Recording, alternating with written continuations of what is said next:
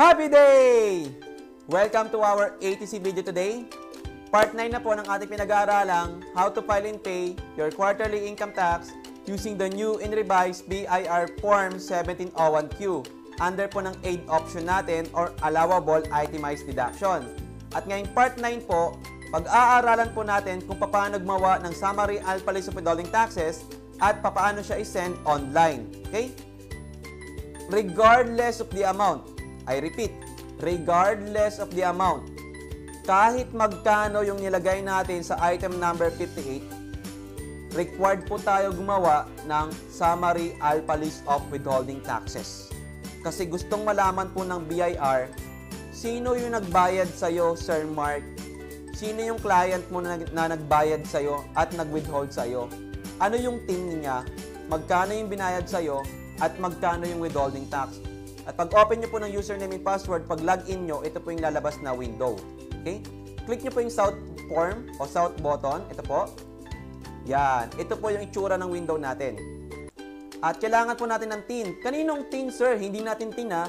TIN ng payor. Ito po, item number 7. Hindi po, ito yung pangalan natin, payee.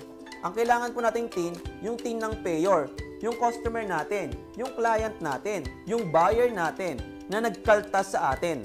Hindi po lahat ng buyer or customer. Yun lang pong customer na nag-withhold sa atin. At yung buwan niya, anong buwan yung pinabalidate mo? Di ba, January yon o January. Tapos 2018. Tapos ito yung team natin.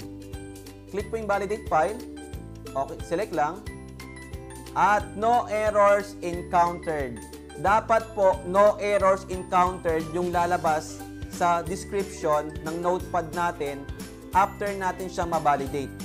So back to main menu na, exit po natin. Pag na-validate na po natin siya, isasubmit na po natin yan. Saan natin siya isasubmit? Wala nang iba kundi sa email ng BIR.